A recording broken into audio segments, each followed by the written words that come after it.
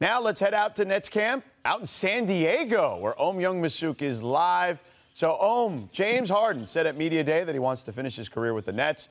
What are you hearing about his contract extension?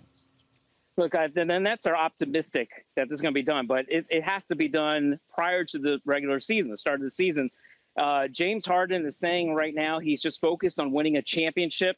Um, he's, he, as he said to Malika, um, he's never been uh, in this position where he can really kind of think about being a free agent. He's always kind of been loyal to his team.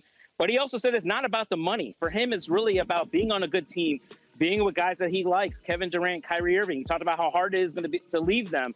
Um, Steve Nash was even asked about this yesterday, and he said he's pretty optimistic that Kyrie Irving and James Harden are going to be with the Nets long term. Interesting. Now, Kyrie Irving is at camp and practicing. How has he been received? He's been received fine. I mean, look, his whole thing is he doesn't want to be a distraction. Uh, and so far, he hasn't been. But look, there isn't a ton of media here from New York. This is really like a couple writers from New York, some local writers from San Diego. Um, so it's not like he has this media crush on him watching his every move. We were allowed in a practice at the end of practice, so we really only got to see Kyrie kind of shoot around and then walk off the court. Um, the big three is slated to talk later this week, possibly tomorrow. Uh, and so I think that's when Kyrie probably will ask more questions about all the protocols in place for those who are not vaccinated. Finally, today is Kevin Durant's 33rd birthday. I know when he was with Team USA, they joked that it was his birthday, and it wasn't his birthday. Are the Nets planning anything for him? An outing out at uh, the Gaslamp District? What's going on today? So far, I'm told nothing yet uh, at, in practice. They are in practice right now as we speak, right behind me. But I'm sure the Nets have something planned in store for him. Maybe we'll get a glimpse of it at the end of practice. Look, it is a beautiful day in San Diego, George. I am sure Kevin Durant and the Nets are going to find a way to celebrate his 33rd birthday somewhere here in San Diego. Well, I can suggest many places: La Jolla, you know, Coronado, wherever they'd like to go. There's plenty of great places in San Diego. Ohm, thank you for joining us, brother. Appreciate it. Thank you. All right.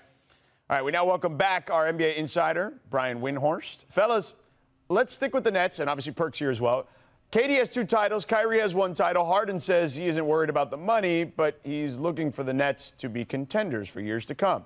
James Harden also said he's in no rush to sign a contract extension. So, Windy, how big a deal is this? Yeah, I mean, this is probably one of the biggest stories in the NBA. No one's talking about James Harden not extending his contract before training camp, which is what the Nets said they wanted to do. And I appreciate his willingness to discuss it. He answered a question from me about it at Nets Media Day, but I just can't take him necessarily at face value because I do believe it's about the money. And here's the reality if he signs an extension now, he does indeed tie himself to the Nets for the next four years, uh, and he can only guarantee himself somewhere in the neighborhood neighborhood of 160 million. Great money. If he waits until next summer, becomes an unrestricted free agent, just kind of like what uh, Kawhi Leonard did, he can sign for five years and 270 million. That's 160 verse 270.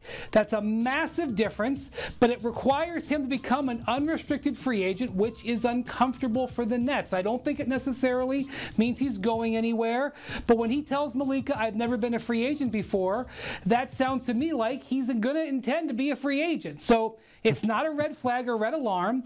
But it's something that we definitely have to monitor, and we can probably no longer say that Zach LaVine is going to be the number one free agent on the market. It might be James Harden. Mm. And you know what, Windy, I agree with you for the simple fact we all know that James Harden, he could talk about it's not about the money, but we all know it's about the money when it comes down to James. he loved the game of basketball, but he also loved his lettuce. And I don't see him leaving $110 million on the table if he could wait a couple more months or wait till this NBA season and get 110 extra million more dollars. But here's the thing, right?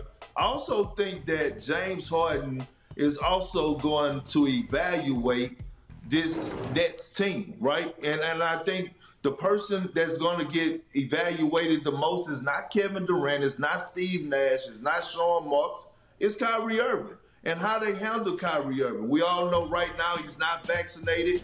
Uh, we know what's going on and the rules about, you know, for us them playing in New York, that he could possibly miss more than half of the season or half of the season due to him not being vaccinated. So you know, I think with James is one, yes, he wants more money, but two, he's trying to fill out the situation. He want to see what direction they're going to go in and how they're going to handle Kyrie Irving and what Kyrie Irving is going to do at that. That is a fascinating point, Perk. And and look, last year was just weird. It was clunky for a lot of teams, but them specifically in a lot of ways. So I do think just to see what the fit looks like. And, you know, Brian nailed it. If you've never been a free agent before, it's nice to be courted. I don't think there's any doubt. And I'm not even leaving, forget about 110 million. I'm not leaving 110 bucks on this table, let alone 110 million. So I ain't mad at anybody for leaving, you know, making sure they try to get their money. Thanks for watching ESPN on YouTube. For live streaming sports and premium content, subscribe to ESPN Plus.